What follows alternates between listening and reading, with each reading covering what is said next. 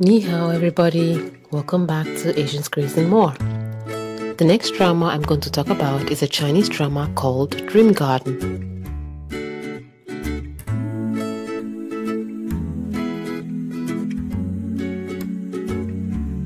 The air date was on December 13th, 2021, and it's running until February 1st with 16 episodes.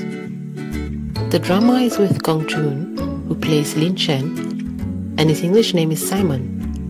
And some of you might know him from the drama Begin Again where the male and female roles are reversed. So he plays a really nice doctor, and the actress is a domineering CEO.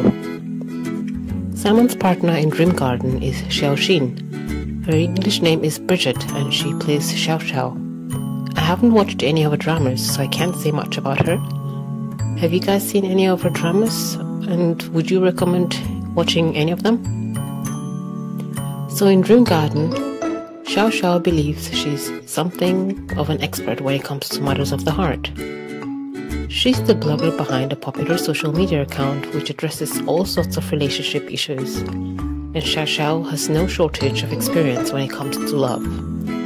However, all of her experiences online can prepare her for her first encounter with Lin Shen, a professional psychological counselor who sees the world in an entirely different way after the two have a disagreement during a popular love variety show, due to their differences in concepts, Xiao Xiao hoped that she would never see that she would never have to deal with Lin Shen ever again. But fate, it would seem, had other plans. So, hoping to improve her ability to analyze emotional problems by learning from a true professional, Xiao Xiao applies for a position as a professional psychologist assistant. Only too late does she realize that the professional she's working for is none other than the cold hearted Lin Shen. Despite their initial differences, they come to not only respect each other, but they learn that by working together, they can help their clients overcome a number of serious problems.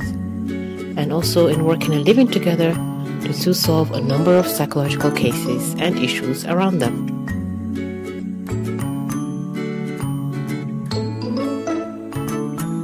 So, on a scale of 1 to 10, whether I'll watch this drama, I'd give this one a 7 or 8. The reason why I can't make up my mind is because I have mixed feelings about the plot.